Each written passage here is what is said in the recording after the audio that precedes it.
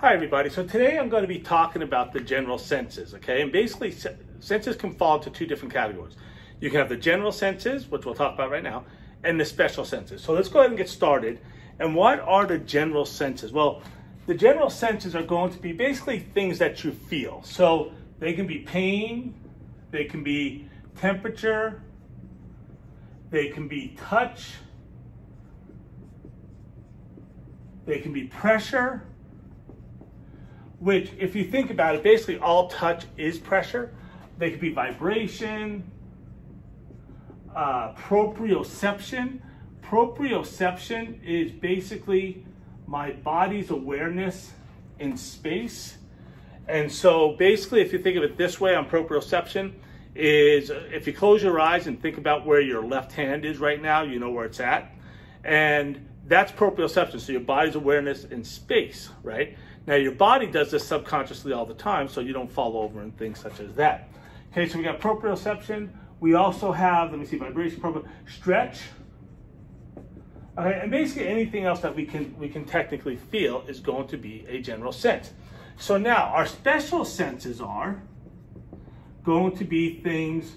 Usually these are these are associated with an organ, such as um, smell, right? You smell with your nose, taste, you taste with your tongue, uh, hearing, right? You're gonna hear with your ears, your middle ear, you have organs in there that are going to help you be responsible for balance, which balance kind of goes along with proprioception because when my body needs to know its awareness in space, so I can have balance, right? So I can maintain balance. Um, some books will just say equilibrium and also sight, right? We see with our eyes, right? So that's the general senses, and that is the special senses. Special senses I'm going to be going over in another video. And so for right now, let's get started on the special senses. So now, we're going to be talking about the different types of receptors that are in the body here, okay? And for the most part, um, before we do, I want to go into different types of touch. Okay, so in when it comes to touch, how sensitive, well, first of all, you can have two different things. You can have fine touch. And fine touch, you're going to sense things such as the location of something on your body, um, the, size of something, the shape, the texture. For the most part, fine touch is more discriminative. It gives me, it gives us more information. So it's going to give us more information, right? That's different than what we call crude touch. Okay, crude touch, what's going to happen is you're not going to get all this information, right? And crude touch, it's more likely it's going to be poorly localized. And we just don't get as much information. Yeah, if I put something on your back, you could sense what it feels like, but, or, you know, the size of it, maybe even the texture, but it's not going to give you as much information as you would if you had um, fine, if you had fine touch. So now, how do we get fine touch and crude touch? Well, there's something called receptive fields. Okay, so in receptive fields, this is basically the area that your nerves can sense. So let's say that I have an area somewhere on my body, and I am going to just have one nerve that goes to that area, right? And it's going to have its dendrites coming out and sensing that area. Let's say this area, you have this one nerve that's sensing an area that's about seven centimeters wide. Okay, that's about two and a half inches. All right, so now we're not going to get a whole lot of information from here. This could be more responsible for crude touch. And like I said, that could be just a general body area, like my back, maybe my shoulder, something like that. Now, let's look at areas we want fine touch, such as our fingertips, right? I may have, now, our, of course, our fingertips are not seven centimeters wide, but I'm going to do this just for the sake of showing the example. So let's say that I have this area here. This is my fingertip. Now, instead of having one nerve with its receptors and dendrites sensing an area this wide, imagine now I got a whole bunch of receptors that are in here.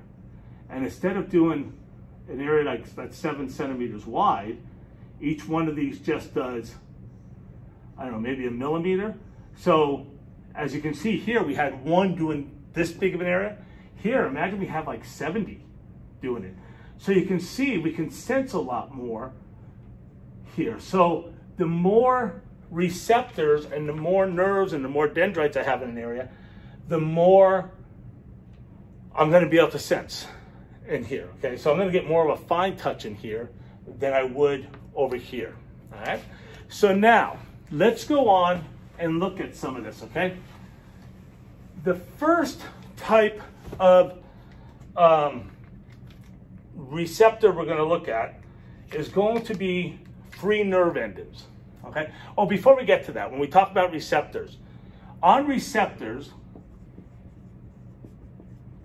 it's when I talk about receptors, it's going to make it sound like each receptor has just one specific function, right? But it's not one one receptor, one function. All right, this is, stands for function. That's not the way it works. Okay, I can have one receptor and it may feel different sensations. So it may be feeling touch, pressure, and temperature, let's just say, right? Just, just all at the same time. Now, let's say that somebody leans on me or, or I, somebody puts like a book in my arm or something. I, I don't know, but they put pressure in one area. Well, your body wants to know what's going on with that. So what they will do in this case is I may have many receptors that just feel one sensation. Right, so let's just say in this case it's pressure. Okay, so even though we're going to be talking about receptors, we're going to be talking about them in the sense as if it is one receptor, one function, okay? So let's go ahead and take a look at these. And now my receptors can be one of two different types. I can have free nerve endings. Okay, I can have free nerve endings. And what I mean by these is these do not have a capsule. There's no capsule. So if I have nerve endings that have no capsule, it must mean I also have encapsulated receptors. So we're going to start off talking about the free nerve endings first, okay? And there's several different categories of these. So when it comes to the free nerve endings, the first one we're going to talk about is called your thermoreceptors.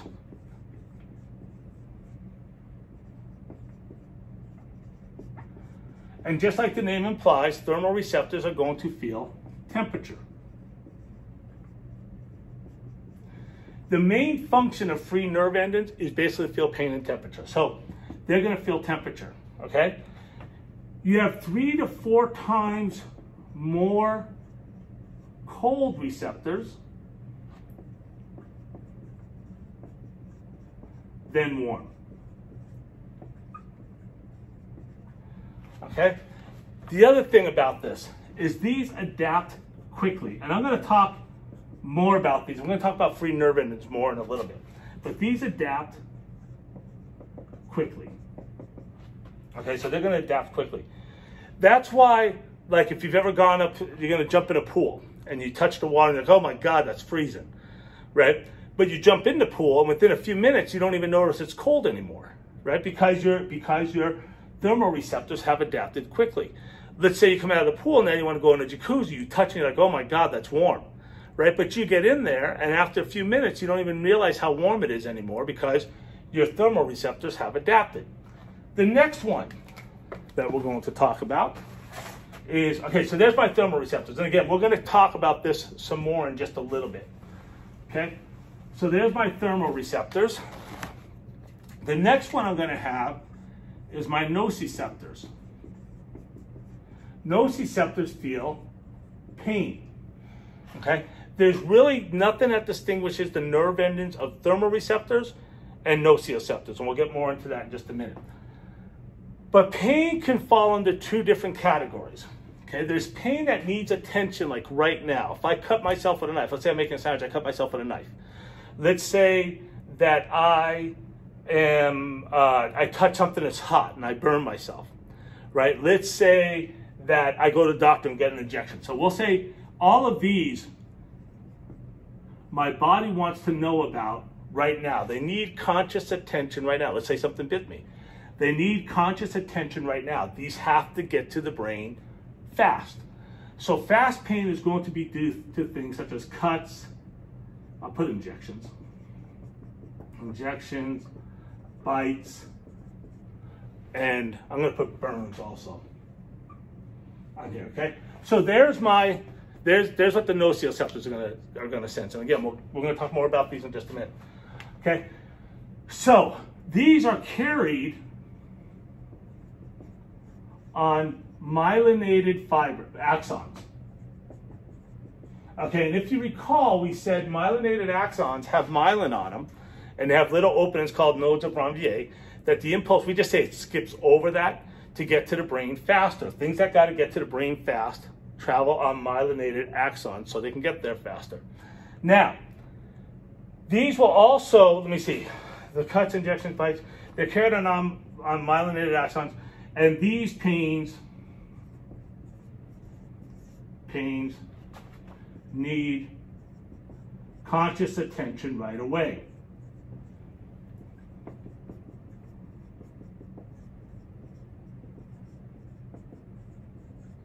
Okay, so that's going to be the nociceptors and my fast pain. So if I have fast pain, that must also mean I have slow pain, right? So let's take a look at slow pain. Do I have enough room to write down that? Now I'm gonna erase it. So there's my fast pain, okay? It, it's cuts, injections, bites, burns. It has to get to the brain quickly. It has to get to the brain quickly, okay? Slow pain is something that we really don't need it to get to the brain that fast. Let's say I go to the gym, I've been working out, the next day I'm sore. Okay, really, I don't. My brain knows it's there. It's telling me to take it easy, but it doesn't need to know. It doesn't need attention like right this second, right? So we're gonna have slow pain. Okay, that stands for pain. And the example I'm to use is just muscle soreness. Chronic pain could also fall into this too, all right, because of the fact that your brain knows it's there. It, it's not like you have to stop doing something right away, okay? These impulses or the, the sensation is carried on unmyelinated fibers or axons. Okay, in other words, these are going to be carried on unmyelinated axons. They're going to travel slower, so they take longer to get to the brain.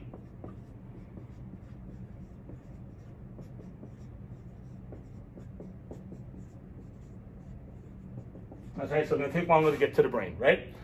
So that's gonna be my slow impulses. Okay, so we've talked so far about two different types of free nerve endings. We talked about the thermoreceptors, we talked about the nociceptors. The next type is going to be mechanoreceptors. And these are gonna be more responsible for touch and pressure. So mechanoreceptors are next.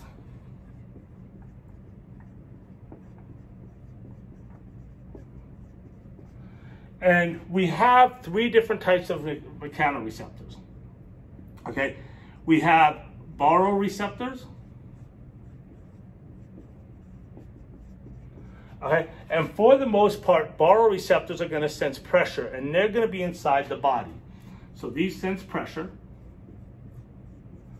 Okay, if you've ever watched the news at night, you might hear them talk about the barometer, and if the barometer has a, they're telling the amount of pressure, and the more pressure there is, usually the warmer it's going to be. So this is going to sense pressure. Now, we find these in areas such as blood vessels. Okay, what happens in the blood vessels is they want to know how much blood's going through. So let's say there's not a whole lot of blood going to an area, right? And so all of a sudden, what'll happen is this won't be registering much pressure. So it'll actually tighten up your, your blood vessels. So therefore you'll increase the blood pressure. If there's a lot of blood going to an area, this, or let's say you start to run or something, you need more blood in the area. What these will do is they'll actually, the, this will sense pressure from the blood and they'll actually open up to help decrease that blood pressure a little bit. Okay, they're found like in the digestive tract, the bladder, okay, and areas such as that. I'm going to do a video on baroreceptors um, later on. The second one that we have is going to be uh, proprioceptors. And proprioceptors, like we mentioned, this is going to help with our body's awareness in space, right? So we can keep balance and things such as this. This is the function of the proprioceptors, right? And it's going to help with our balance. And then the last one is going to be tactile receptors. And I am going to make another video on tactile receptors, but these are going to help with touch and pressure and pain and all the stuff what we've been talking about further up. So um, that's going to be the tactile receptors that we have. So that's basically the receptors we have. And thank you so much for watching. If you liked the video, please hit the like and subscribe button. And thank you once again for watching.